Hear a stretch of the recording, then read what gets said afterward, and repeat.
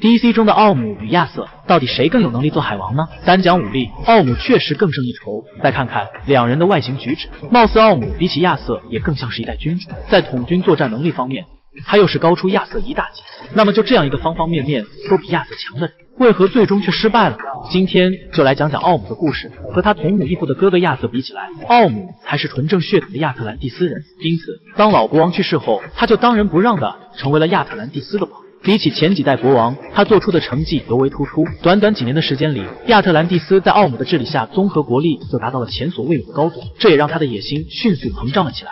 他不仅想要完成海洋大一统，周边其他七大国度成为自己的部下外，还想发动战争，惩戒破坏海洋生态系统的人类。如果还能一举歼灭人类，重现亚特兰蒂斯当年称霸地球的辉煌，那就最好不过了。为了能完成这两个梦想，他就用手段雇了一个人类，让他操控人类的潜艇，在合适时机攻打泽贝尔国王的地盘。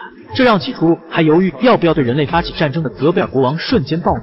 就这样，奥姆玩了一手贼喊捉贼，成功利用计谋让其加入反人类的阵营，壮大了自己的实力。当他得知自己还有一位人类混血哥哥，一反常态，决定和他一对一单挑，用强大的实力告诉众人，他才是亚特兰蒂斯绝对的王。关键时刻，要不是梅拉公主将其救下，可能亚瑟真就死在了竞技场。突发未婚妻的背叛令他更加痛恨人类。剩余国度的国王只要不愿追随他。奥姆就毫不犹豫地杀害国王，然后用淫威逼迫下一任继承者加入。可以说，奥姆为了自己的野心，一路不择手段。要不是梅拉与维克叛变，帮助亚瑟获得三叉戟，由此召唤来卡拉森巨兽来到战场，他绝对是有实力一统海洋的，并且大概率也能成功挑起海洋与陆地的战争。在他身上，咱们甚至可以看到奥丁的影子。